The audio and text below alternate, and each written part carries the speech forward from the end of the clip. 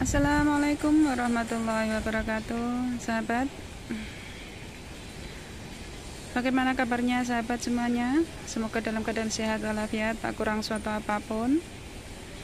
Dan Semoga sahabat semuanya Hari ini dilancarkan segala urusan Dilancarkan segala masalah Diberikan solusi dalam segala masalahnya Dan Semoga sahabat semuanya dalam lindungan Allah SWT. Amin ya Rabbal 'Alamin.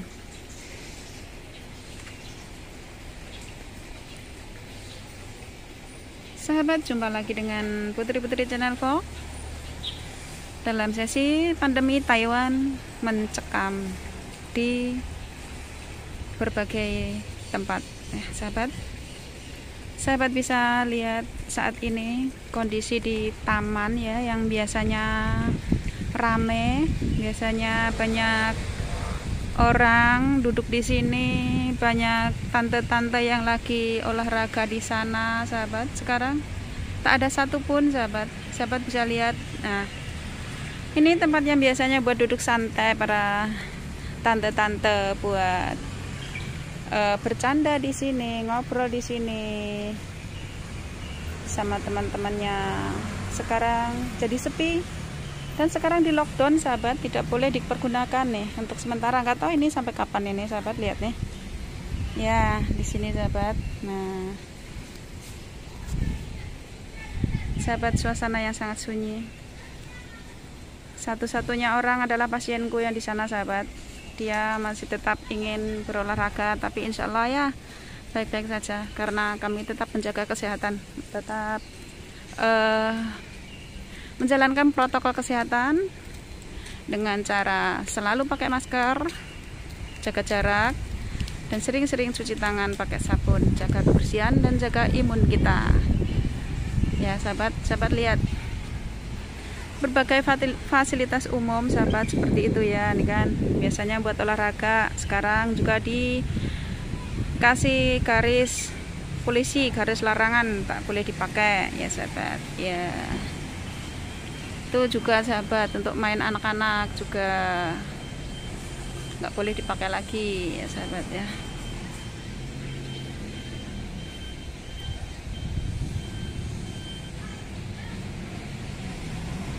nah sahabat bisa lihat.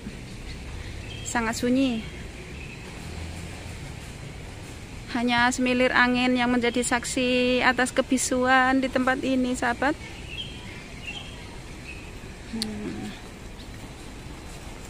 Nah ini tempat kolam ikan.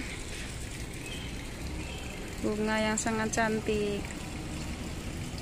Kaos segar. Nah, bunga ini sahabat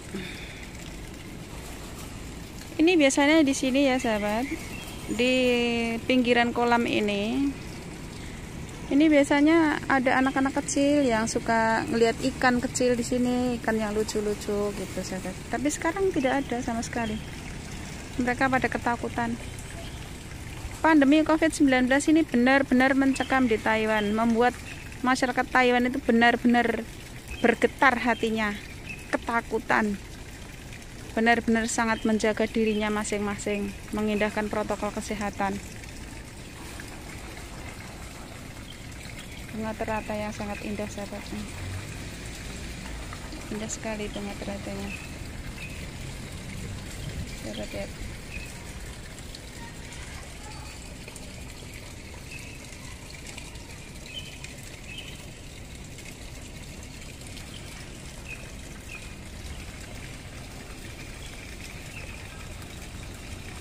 air mancur menjadi saksi kebisuan di tempat ini sahabat Sahabat, mohon doanya kita bareng-bareng berdoa kepada Allah SWT ya, sahabat. Semoga pandemi ini segera berlalu dari muka bumi ini, sahabat ya, agar kehidupan menjadi tentram kembali, menjadi normal kembali, menjadi tenang kembali, dan kondisi di segala bidang, kondisi di segala apa pun yang ini ya, sahabat yang berubah semoga menjadi segera menjadi normal kembali sahabat ya. Nah inilah sahabat kesenyian kesepian.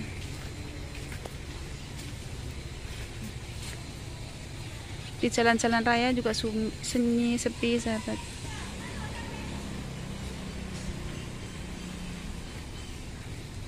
Sahabat bisa lihat jarang sekali orang yang keluar kalau nggak ada kepentingan. Orang sini ini benar-benar sahabat benar-benar ketakutan. Orang sini itu benar-benar apa ya sangat menjaga dirinya sendiri gitu sahabat ya. Apalagi sahabat ini kalau misalnya di Taiwan ini ya kita ke mana-mana keluar rumah pokoknya keluar dari pintu rumah harus pakai masker. Kalau tidak pakai masker ketangkep polisi itu bisa didenda sahabat dendanya antara 6000 NT sekitar 6 eh, sekitar 3 juta rupiah lebih sampai 15.000 NT 7 juta 500 lebih. Itu nilai nilainya ya sahabat. Ya sahabat eh, marilah kita bantu pemerintah baik pemerintah Taiwan maupun pemerintah Indonesia ataupun di mana pun sahabatku subscriberku tinggal ya di mana pun. Mari kita bantu pemerintah dan kita menjaga diri kita sendiri dengan mematuhi protokol kesehatan eh, dengan cara selalu pakai masker. Selalu jaga jarak terhadap orang lain. Selalu cuci tangan pakai sabun menjaga kebersihan. Dan tetap menjaga imun kita kesehatan kita kondisi badan kita agar selalu fit.